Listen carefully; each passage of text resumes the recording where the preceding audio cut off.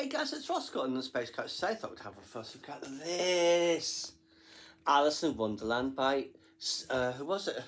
Lewis Carroll. I was going to say C.S. Lewis, because obviously we were just looking at the Narnia. But yes, with illustrations by Helen Oxenbury. There you see on the back.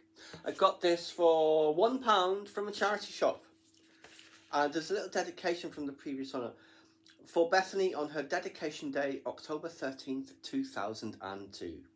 Uh, love from Mary Ann, Sophie, Clive, and I don't know if it's Angel or Miguel, I can't quite read it. Black pen on red paper, it's very difficult to make out. See, can you even see it? You have to turn it for you so you to see it a little. So yes, I'll just pop it out of its dust jacket to make it easier to look at, and then you just see the whole volume. But yeah, I mean, oh, that's lovely. That reminds me of Watership Down. Alice's Adventures in Wonderland. And there is Lewis Carroll.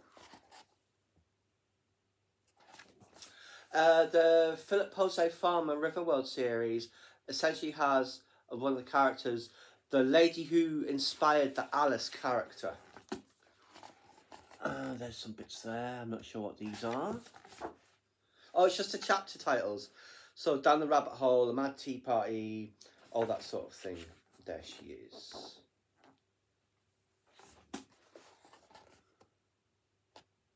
Very nice illustrations. And obviously there's been any number of versions of Alice in Wonderland over the years. Also, um, the Tad Williams Otherland series, uh, but all the different connected, uh, basically, internet realms. Um, one of them was an Alice in Wonderland world, but it was like an insane one where the Red Queen is just killing everything. It was like post-apocalyptic Alice in Wonderland. Oh, oh, there she is. She has, oh, she drank the bottle. Yeah, because she's now getting bigger. She was small, now she's big. The Pool of Tears. That's lovely. It's a really nice illustration style. I wasn't that keen on it at first, but it did really grow on me.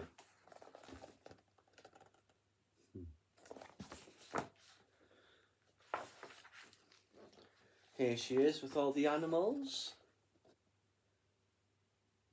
Hmm. The mousy with a long tail. Hmm.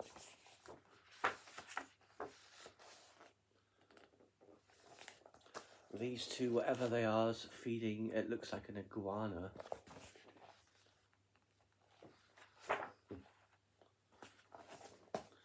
this guy. Looks like a walking fish. Like I've forgotten so many of the characters from this because it was such a long time ago. Uh, I do, however, know who this is. the Cheshire Cat, of course. Two pages with oh there that would be the Mad Hatter. Considering how many hats he's wearing, yes. Oh, and there is the tea party. Isn't that beautiful? Beautiful uh, illustrations. Oh, there's Her Majesty. She doesn't look very pleased. But then again, kings and queens never look very pleased about anything. There's some more from that. Pink Flamingos, the cards people. I'm sure Tweedledum and Tweedledee will be around soon enough.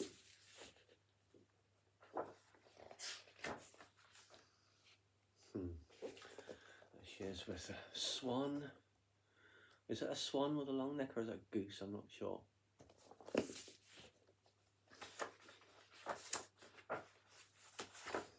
Hmm. the Mock Turtles story story, sorry.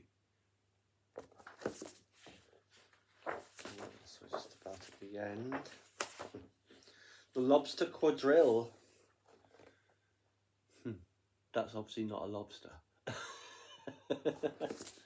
but there is a big turtle, so that must be from the mock turtle, perhaps. There's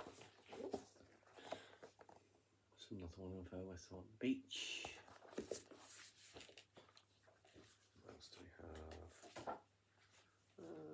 Finish with this perhaps.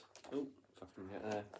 Just a lot of chaos going on. Alice's evidence. Ah, she'll be dragged into court on charges, no doubt. so there you go, guys. Alice in Wonderland for a pound with beautiful illustrations as well, and they're in colour. Absolute bargain. I hope you guys enjoyed. Please subscribe to my channel if you enjoyed this content. Leave me a comment suggestion for upcoming topic you'd like to see discussed, or like the video.